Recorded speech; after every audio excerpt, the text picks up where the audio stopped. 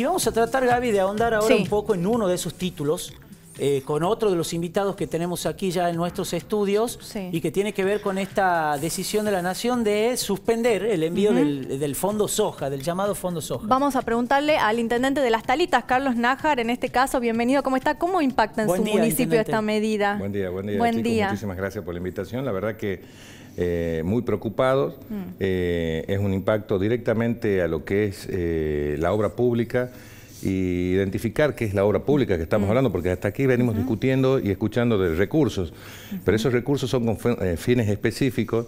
En el caso de las talitas estamos hablando de aproximadamente 14 millones de pesos anuales, eh, que con esa, esos recursos se hicieron cuadras de adoquinado, en el barrio SOEM, en el barrio 447, eh, cordones cuneta, en el barrio primero de noviembre, desagües pluviales sobre calle 1.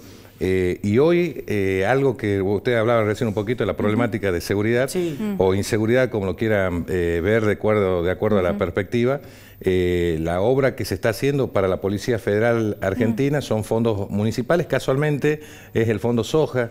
Estamos próximos a inaugurar una oficina para la DigeDrop dentro de lo que es las talitas también en el barrio Soeme y también es Fondo Soja.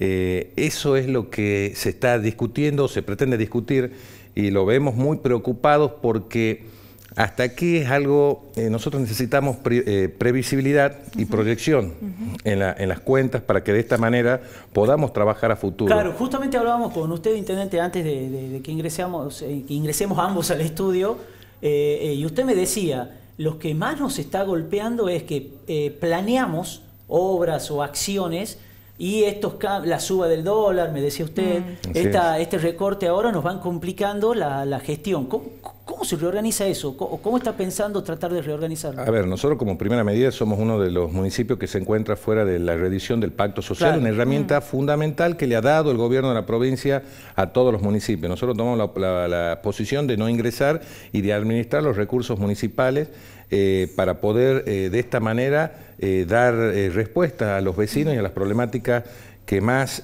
preocupan a, los vecinos. esto realmente es un combo complejo porque mientras siempre se nos exigen planificación y previsibilidad, hoy estamos viendo que las cuentas de inversión o, o el presupuesto nacional, en donde ya se destinaba presupuesto, casualmente cuentas para este fondo soja sea coparticipable, eh, y se ha coparticipado en realidad, porque el Fondo Soja no se eliminó, mm. eh, realmente cuando uno se proyecta dificulta muchísimo decir qué inversiones vamos a hacer o cómo vamos a escalar en el tipo de inversiones. Y no es tan solo el único factor. ¿Por qué? El aumento del dólar, nosotros tenemos una economía hoy que muchos de los insumos con los cuales hacemos estas obras públicas eh, están dolarizados, los insumos eléctricos están eh, la mayoría eh, dolarizados, por lo tanto, cuando la coparticipación disminuye por una decisión de un DNU en este caso, que perjudica directamente a la obra pública y a la parte privada porque nosotros no producimos los insumos, o sea, acá los corralones o los empresarios que venden hormigón, hierro y todo lo demás van a ver afectado también sus ingresos por la falta, y la industria que produce también esto, por la falta de respuesta en la obra pública, pero por otro lado tenemos otro factor, los aumentos de la luz, los aumentos en los servicios también impactan, el aumento del combustible también impacta directamente en esa ecuación eh, de, gastos eh, de mantenimiento, digamos, de lo que implica el Estado municipal. Esto es complejo, porque por un lado nos quitan de un día para otro eh, los recursos sin haber hecho las previsiones y las proyecciones Mm. Eh, eh, por lo menos en un canal de diálogo. Cambiemos, Cambiemos sostiene, algunos dirigentes de Cambiemos de Tucumán y a nivel nacional, pero específicamente en nuestra provincia, que la provincia está en condiciones de hacerse cargo de ese recorte y seguir distribuyendo ese dinero en los municipios. ¿Usted habló algo de eso? ¿Le parece que No, yo observo eh, lo que dicen algunos funcionarios, lo, lo, preocupante es que son algunos funcionarios o, o, personas que tienen acceso a, la, opinión realmente y a, las, y a las cuentas del Estado. Ellos se hacen referencia a la devolución en su momento por una judicialización de la provincia de Córdoba. Eh, del 15% de, los fondos coparticipables. De los fondos coparticipables. Que se comenzó a hacer desde este año. O sea, lo que ellos están diciendo que nos han dado, que le han dado a la provincia recursos que además, a ver, la justicia ordenó, o sea, no fue una cuestión de común acuerdo que para evitar una lluvia de, juicios, ¿no es cierto?, hace un acuerdo político en el cual comienza a ceder en forma escalonada hasta lograr el porcentaje eh, que la ley exige que se cumpla de coparticipación. Por otro lado, obviamente, o sea, cuando ya empezamos a poner, debemos ser muy claros en este aspecto, porque si ya empezamos a decir, nos damos por acá y nos quitamos, seamos realistas en este sentido, eh, acá lo que sí preocupa es que hoy estamos viviendo un proceso de incertidumbre. Yo escuchaba de que, y esto sí complica la, ecuación eh, nacional en este sentido, y de, obviamente va el derrame, no el derrame virtuoso de lo que implica los recursos, sino los derrames de los problemas. Eh, hoy vivimos una, crisis de confianza en los mercados. Eh, y hoy con esta medida se acentúa esa crisis de confianza. ¿Por qué? ¿Qué inversor extranjero va a venir hacia la Argentina a hacer inversiones de capital si observa simplemente una situación? Que lo presupuestado y enviado por el Gobierno Nacional al Congreso, luego lo elimina con un DNU. ¿Qué garantías en cuanto a la legislación mm. puede tener un inversor para realizar las inversiones eh, mm. necesarias aquí. Eh, además de, este dinero que usted manifestaba para la delegación de la Policía Federal, ¿qué otra obra les ha quedado a medio hacer o que no saben cómo van a continuar en realidad, la planificación para cerrar este año. Nosotros teníamos, a ver, yo puedo seguir enumerando por ahí eh, algunas que todavía no se han iniciado. Eh, la ventaja que sí tenemos es que muchas de esas obras en realidad eh, son con, con, mano de obra municipal. por administración. Por administración. por lo tanto, no hemos generado la posibilidad de que, que algún, alguna empresa que realice esta obra, que sí seguramente va a pasar en algún punto de la Argentina, porque los municipios calzaban el pago de obra pública o de un contrato contra eh, casualmente la, percepción de este fondo soja. Eh, en el caso nuestro tenemos el envión porque teníamos la previsibilidad, veníamos, a ver, esta información de estas problemáticas ya se las venían escuchando. Eh, pero por canales totalmente informales. Eso es el gran dilema que tiene la Argentina hoy. Eh, que uno recibe por canales informales eh, eh, algún tipo de, información que luego se corporizan y se hacen realidad. Este, este, es uno de los casos, por lo tanto nosotros tomamos las previsiones mm. de primero tener los recursos para avanzar recién mm. sobre la obra, lo que hace comúnmente la economía doméstica. Teníamos los recursos y recién iniciábamos este proceso. no nos afectaría en la terminalidad de estas obras que tenemos en curso sí nos afectan las proyecciones de obra que también teníamos con estos mismos Por eh, ejemplo, ¿cuáles? Eh, calles de adoquinado, calle 41, calle 43, mm. en Villa Manero Moreno, que nos va a dificultar. Eh, estaba proyectado el ingreso al, barrio experimental 2, que venimos con una situación de inversión en la zona de lo que es la ruta 305, sobre donde está la rotonda del monumento del Bicentenario, dentro, dentro de lo que es las talitas inversión en, iluminación, eh, en inversión, nosotros en este momento nos encontramos negociando un acuerdo con una empresa que hace tiraje de fibra óptica en todas las talitas para realizar inversiones en cuanto a la instalación de cámaras de seguridad eh, para un centro de monitoreo municipal. Bueno, todo lleva un parate a cero y empezar a ver cómo logramos recibir o buscar estos recursos para poder proyectarnos a futuro. Eh, en algún momento recuerdo que los intendentes, sobre todo al principio de la gestión de, Macri, viajaban bastante a Buenos Aires, llevando carpetas, llevando eh, obras. ¿Eso ha, cambiado en los últimos tiempos? ¿Sienten que por aquí quizás no está...? Si quiere que le sea totalmente práctico, hace mm, aproximadamente menos de 30 días eh, esto se inició al comienzo cuando se decía de que si había proyecto había recursos. Claro, claro. Eh, hace 30 días. Que la nación se quejaba de hecho de que no había eh, proyectos serios, decía, ¿no? Por parte de la provincia. Hace 30 días, más, no recuerdo, pero aproximadamente 30 días, nosotros elaboramos un proyecto hace ya un año atrás. llevamos un proyecto voluminoso, proyecto que me costó ingresarlo eh, de 70 cuadras de adoquines para, todo el municipio, en donde eh, primero fue pasando por distintas oficinas. En la primera etapa estaba dentro de lo que es el Ministerio del Interior, en la zona de, en el sector de, hábitat, en la Secretaría de Hábitat, luego se toma una decisión que, hablaban de que todas estas obras de infraestructuras viales se iba a manejar dentro de la cartera de transporte, a través de la cartera de Dietrich, nosotros tomamos ese, proyecto, lo enviamos a Dietrich y nos contestó por escrito hace 30 días aproximadamente de que la Nación no está para financiar este tipo de obras, que eh, están realizando obras de envergadura eh, en rutas nacionales, no así este tipo, me parece correcto, y nos deriva directamente eh, a vialidad provincial, para hacer estas inversiones. Claro. Eh, eso yo les digo, sin animosidad política. Sí, sí, Esa sí. fue la respuesta que les Claro, puedo claro. hacer llegar una copia si la necesitan.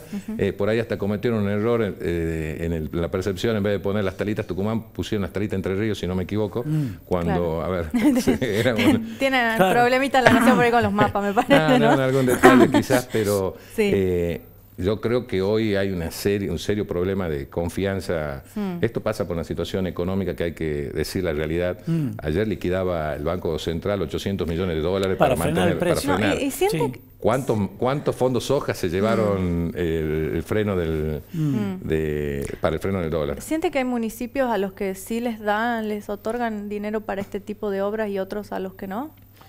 Yo creo que eh, realmente eh, por ahí es natural que cada uno tenga una capacidad de gestión distinta. eh, por ahí Me tiene refiero una al signo político específicamente, ¿no? Yo creo que tiene una ventaja por ahí en la, en la capacidad de gestión. Y cuando hablo capacidad de gestión, hablo de aquellos eh, eh, municipios que tienen relación política directa con, Con la nación. con la Claro. nación, no se olviden Y esa que gestión es más directa, ¿a eso se refiere Claro. usted? y en realidad tienen mejor información. A Claro. nosotros nos cuesta saber por dónde hay mecanismos de, infor- Claro. de- de Claro. financiamiento, mientras que ellos quizás en la reunión política, en la charla política, manifiestan abiertamente o en la reunión que tienen con funcionarios de dónde están los recursos, por dónde hay decisiones políticas de financiamiento. Nosotros tenemos que eh, gestionar con el día después, con el Prueba y diario error, del, eh, claro. del, eh, del día, del día anterior, cuando ellos por ahí gestionan con el diario de mañana. Claro. Eh, pero ahí está un poco la gestión de cada, cada uno, ¿no es cierto? En esto eh, nosotros como municipio hemos logrado algo que yo considero muy importante. Obviamente quizás hoy el, el país no está en condiciones óptimas para los financiamientos hacia las obras públicas municipales, pero el municipio de Las Talitas logró ingresar a ese famoso pact- a ese famoso ranking de municipios en cuanto a la capacidad de gestión Sí. con el gobierno nacional eh, eh, que fue anunciado por el presidente y que es llevado adelante a través del Ministerio del Interior de la Nación. Estamos rankeados dentro de los 100 primeros municipios. Obviamente esta, este ranking seguramente en cuanto a, a los lugares que se ocupen eh, van a ser anunciados por el gobierno nacional. Eh, esto no indica que como municipio estamos óptimos, indica que la capacidad de la relación de la gestión es, eh, es fluida. Eh, por eso te reitero, yo creo que tienen el beneficio de, de por ahí poder administrar información. de la información previa, de tener el- el- la noticia del diario de mañana hoy. Lo quiero llevar eh, brevemente, a- antes de, no, no quiero eh, despedirlo, sin preguntarle de uno de los temas de, de lo de que fue insignia de su gestión, de que asumió, que es el de la seguridad. Eh, firmó algunos convenios con fuerzas provinciales, con fuerzas nacionales. ¿En qué está todo eso y cómo, cómo le va rindiendo? O si le va rindiendo o no, digamos. A ver, nosotros notamos un cambio, eh, una mejora. A ver, ¿en qué sentido? Falta mucho por hacer. Todavía no, ha- no ha- se llevó al campo estos convenios o estas mejoras que se han hecho en el ámbito de seguridad porque se están desarrollando, casualmente los proyectos nos encuentra en el, en el medio. Nosotros hasta aquí, si tomamos como eh, punto inicial eh, eh, el 2015, hoy la verdad que las, las- las talitas han mejorado su situación de seguridad para ese instante inicial que era malísimo. La zona, la talita era catalogada como zona Sí, roja. sí, sí. Hoy fuimos eh, aumentando la cantidad de, de vehículos, eh, la capacidad operativa de la policía. Arrancábamos seis motos y dos camionetas, una camioneta y media para la policía para 75 mil habitantes. Hoy tenemos eh, eh, 10 móviles, eh, 11, eh, 9 móviles hoy y 17 eh, camionetas operativas, eh, 17 motos operativas.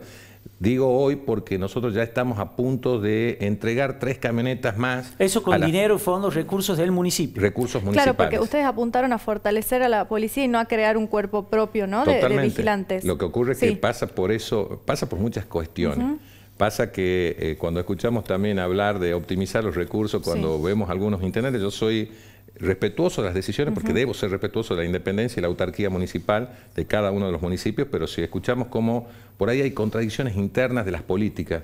El gobierno nacional pide que haya una reestructuración y una optimización de los recursos en cuanto al gasto público. Y por ahí vemos que algunos municipios hacen incorporación de personal dados por un problema que desde ya les digo, esto va a traer consecuencias a las arcas municipales, no tan solo por la erogación de- mensual de, de- de dinero en cuanto a un concepto de sueldo, porque es discutible ver Usted cómo está hablando cobran- de en los municipios que tienen su Que propia tienen que tiene su, su ciudadana. justicia Sí. ciudadana, Sí. sino que también puede tener un potencial problema legal eh, sobre, la, sobre la problemática que ellos mismos están teniendo en cuanto a lo que pueden ocasionar un tercero, delincuente o no, o un tercero delincuente no le puede ocurrir a los vigías en el uso. Nosotros tomamos lo que la ley nos permite hacer hoy, que es colaborar a la policía, colaborar a la policía en esta etapa de eh, optimizar los recursos para que funcionen. Además, gestionar para que nuevas fuerzas de seguridad ingresen al, municipio. O sea, perdón, para de manera sencilla, para que se comprenda mejor, me parece. El municipio lo que está haciendo es poniendo recursos para que las propias fuerzas de seguridad ya establecidas, provinciales o nacionales, eh, puedan trabajar eh, o desarrollar mejor su tarea en el municipio, en vez de crear su propia fuerza. Así ¿Es así? Y invertir en infraestructura para traer dependencias nuevas. Claro. Dije drop, Policía Federal, cuando hablamos de DigiDrop son cerca de 20 efectivos más al promedio. Cuando hablamos de Policía Federal son 70 efectivos en esta etapa, porque bueno, ahora vamos a analizar este el impacto. ¿Y hay efectivos para de esas fuerzas para, para por ejemplo? Ya están trabajando y van a ser dispuestos, y no tan solo en esto, sino también para la, mm, Brigada de Investigaciones, que hoy, a ver, en estos replanteos de obras se nos complique, tenemos que hacer un parate, porque por ejemplo, les paso un anticipo, para la Policía Federal estaba planificado la realización, la construcción de un helipuerto eh, para poder tener un helicóptero. La Policía Federal cumpliendo servicios desde ahí, no tan solo para la policía, sino para uso civil. Con esto sería, si no me equivoco, el segundo helipuerto en Tucumán, eh, con las posibilidades operativas. Eh, también con la DigeDrop estábamos haciendo inversiones. Esto, esto es Fondo Soja. Claro. Esto era el Fondo Soja. Esto era el Fondo Soja. Y además estábamos por incorporar el tema de la eh, brigada, de brigada, de Investigaciones para el sector del barrio gráfico, eh, pensando de esta manera en optimizar los recursos y mejorar la seguridad. Pensando no tan solo en la seguridad personal, que es una de las potestades principales, sino que al, iniciar zonas seguras, eh, potenciar la erradicación de nuevas empresas, que, que por detrás trae la toma de mano de obra a, empleados o a, vecinos de la zona. Bueno, en esa etapa está a punto de lograrse. El hecho de tener la Policía Federal ya hay empresas eh, que ya están muy interesadas, de los cuales, eh, perdón, eh, ya estamos iniciando un proceso administrativo para que se radiquen en el municipio y que si Dios quiere serían aproximadamente y rápidamente unos 60, 70 nuevos puestos de trabajo en el medio de este proceso recesivo que vemos que hoy se anunciaba la posibilidad de que Alpargatas termine yéndose del país, eh, realmente que podamos tener alguna industria, no tan solo industria, sino conversaciones fuertes y serias con algunas entidades bancarias también para que se radiquen en el municipio de Las Talitas. Una sola preguntita más pequeña, si puede darle una respuesta a, uno, a uno de las personas de nuestra audiencia que dice si cuándo van a arreglar la plaza del barrio APEM. Mm. ¿Tiene alguna novedad, algo sobre eso? Estamos, lo que pasa es que estamos en un plan de eh, arreglo de plazas. Eh, venimos arreglando muchísimos, eh, muchísimas plazas de, toda la, de todas las ¿Pero le va a llegar? ¿Le podemos decir que le, va a está llegando porque en este momento estamos, seguramente el, vecino o la, audiencia conoce la zona. Nosotros en este momento estamos trabajando en el barrio Cervecero y el barrio Sicom. Eh, son dos barrios antes del barrio Apen. La idea es entrar al barrio Apen apenas terminemos estas dos obras, como también así a un sector de lo que es eh, pegado al Canal Norte sobre la William Cross, donde ya inauguramos una plazoleta, o sea, venimos con un programa de trabajo y y si lo podemos anunciar aquí también en esto de, las inversiones eh, dentro de público-privado, hay una posibilidad de que una empresa haga una inversión de aproximadamente 500 mil pesos para la recuperación de un predio que está en uno de los márgenes de lo que es el puente de la avenida de circunvalación sobre Ruta 305, donde actualmente hemos puesto un portal de acceso donde está identificado como las talitas, claro. Eh, recuperando un espacio eh, significativo porque ahí había habido, se habían producido hechos delictivos hace muchos años atrás, hasta violaciones se habían producido, entonces estamos recuperando con la inversión pública. Gracias, Intendente. Muchas gracias. Buen día, gracias. por venir. Bueno, era el Intendente Carlos Nájar, habló de cómo lo afecta eh, la situación del recorte en el Fondo Soja, también de su propia gestión de las obras de seguridad, que es uno de los, de los temas a los que más apunta desde que inició, eh, y que además realmente va eh, por un camino diferente de... de, todo el resto de los intendentes. ¿no? Es el único que no, en vez de crear su propia fuerza de seguridad, digamos, de vigías, o de no tener ninguna, eh, decidió apostar a la contratación, una medida polémica, de los, de los propios policías para que eh, desarrollen tareas extras en el municipio. Bueno, recordemos que él tiene una mirada diferente porque también eh, es miembro de la, de la, fue miembro de la fuerza, ¿no? Así que bueno.